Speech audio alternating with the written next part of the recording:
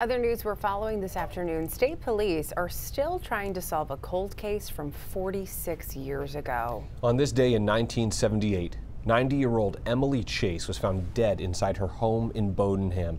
She was last seen earlier in the day getting her mail from a friend. Police say she was living alone at the time of her death. Police ruled her death a homicide but have never said exactly how she died. If you know anything about this case, you should contact the Maine State Police.